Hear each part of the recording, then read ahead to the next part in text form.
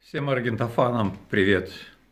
Я снова в деле, вспоминая счастливые годы работы над первым альбомом «Династии посвященных».